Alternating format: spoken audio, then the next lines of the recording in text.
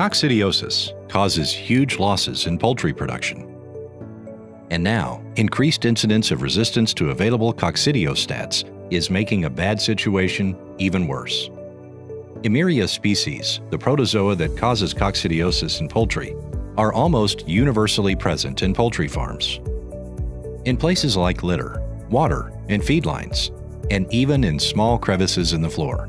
They can be easily carried around from one place to another by employees or visitors. Just one bird ingesting a sporulated oocyst is enough to start a ceaseless proliferation of coccidia and spread it across all the flock in no time, causing significant intestinal damage in infected birds. Once a bird ingests a sporulated oocyst, it begins its journey.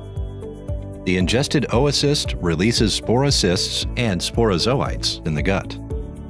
Sporozoites penetrate the gut epithelial cells, producing first-generation schizonts and the release of merozoites.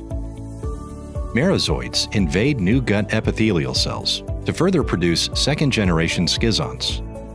The damage caused to the gut epithelium allows oocysts to be released into the gut. The oocysts are finally excreted in manure and litter to be sporulated and infect other birds. The coccidia life cycle process takes just one week. Then, the cycle starts over. In commercial poultry farms, the life cycle of coccidia can be disrupted at one stage or another with the use of ionophores and or chemical coccidiostats. Chemical coccidiostats, vaccinations, and coccidiosis control programs based on ionophores have their own limitations in terms of resistance development and side effects on birds. However, there is a better option to manage these challenges. The use of natural solutions, such as Pretect D, can strengthen and improve the existing coccidiosis control program, while also reducing the issue of resistance. When it comes to maintaining intestinal health, one solution can work to the power of two, on both the causative agent, such as Eimeria, and on the intestinal protection mechanism, such as the gut barrier function. Pretect D does both. With its research-based proprietary blend of tannins and saponins, these two components work seamlessly together to exert control on oocyst proliferation and improve the gut barrier function.